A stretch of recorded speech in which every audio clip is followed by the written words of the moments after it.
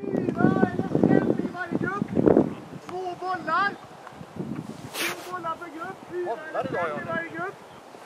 Ja, Tor-Arne, om vi börjar med matchen förra helgen i Svenska Cupen mot Helsingborg. Vad kan du säga om den?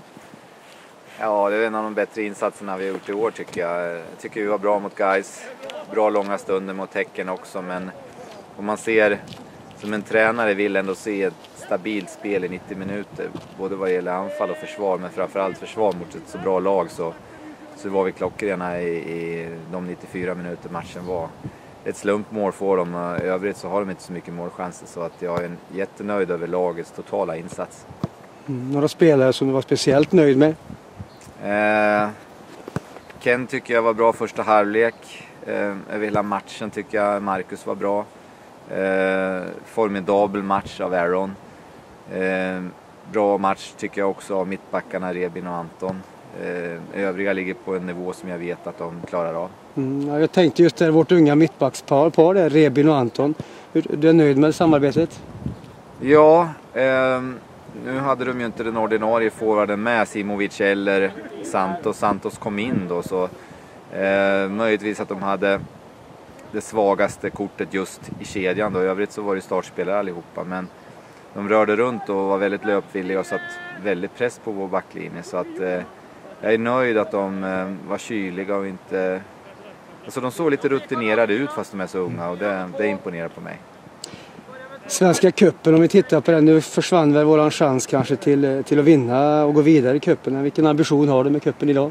Ja, det är att vi måste vinna matchen imorgon och ta det sista halmstrået och gör vi det så har vi möjlighet möjligtvis i sista omgången. Jag tror inte Torslanda rår på eh, Helsingborg idag utan eh, det är nog sista omgången möjligtvis när vi möter Torslanda och Syrianska kanske då kan knipa en eh, trepoängare mot Helsingborg. Det är vår förhoppning. I måndags eh, coachade även vårt U21-lag i sin första match i årets serie. Värt att kommentera här att det är fyra år sedan LSK hade ett eh, U21-lag. Vinst med 2-1 på bortaplan mot Öster. Vad kan du berätta om den matchen? Ja, det blev ju lite stor påfrestning. ändå. spelaren som spelade mot Helsingborg fick också spela där, men eh, ser man att vår, vår ungdomssida med 97-gänget stod för en eh, fyra spelare och hade också två 96 på plan så, som spelade hela matchen. Så det, ser man till det så var det en riktigt bra insats. Och sen är jag väldigt nöjd med A-truppspelarna som eh, hade en väldigt fin inställning och eh, hjälpte de många killarna fram till segern. Mm. Totalt sett i år, vad står vi gentemot i fjol, samma tid? Oh, svårt att säga. Förra året hade vi backlinje och målvakt intakt. Eh, tappade en hel del på forwardsidan och på mittfält. I år precis tvärtom. Vi har hittat bra spelare på de positionerna som täcker och ännu bättre. Men har tappat sex stycken backar så det är självklart att det känns och det är oerhört svårt att säga just nu. Men, men de vi har eh, just nu känns väldigt spännande och jag tror på dem väldigt mycket. Så med träning och med, med oss och, och få spel med oss så tror jag att det kan gå väldigt fort framåt för dem. Men det är klart, vi saknar ju backar fortfarande, gör vi.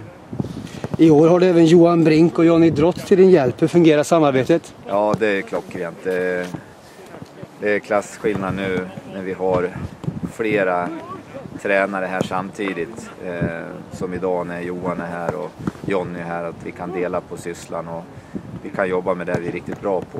Så det är klart att det märks, det märks också, tycker jag, på spelarna.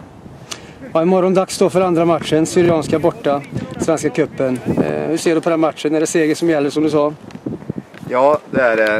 Eh, vi gillar inte att spela i Södertälje så det är en utmaning att spela på den arenan också. Så vi, vi, eh, ta också det som en, en, eh, en bit, att försöka klara oss bra på den arenan, Södertälje arena. Mm. Är alla spelare friska, tillgängliga till spel? Eh, samma som senast när vi mötte Helsingborg betyder att eh, James fortfarande inte är kurant och Petter är fortfarande sjuk. Och eh, Iglekar och Korab fortfarande borta för skada. Okej, okay, då avslutar vi med att önska lycka till imorgon. Kan du ge oss ett slutresultat? Eh, 2-0 Ljungskile. Kanon, lycka Tack. till. Tack.